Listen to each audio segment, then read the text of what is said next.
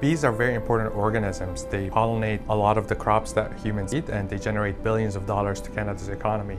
And ever since I started here as a professor at York University, I always dreamt of developing genomic tools where we could use them to predict the behavior and fitness of colonies. And through our conversations with OGI, we started on this path to realize our dreams by developing a small concept study where OGI helped us identify some of the key end users as well as a business plan and provided some seed funding to develop tools for uh, genomically assisted breeding of hygienic behavior in bees. And the project worked fantastically well. And uh, through that early success, we're able to team up with our collaborators at the University of British Columbia and Genome British Columbia. And we developed a larger scale project uh, that was funded by Genome Canada to select 12 different uh, beneficial traits in honeybees using genomics and proteomic tools. So in developing the business case with Amro's team, we decided to focus on just one behavioral trait in the bees and link it to the genetics.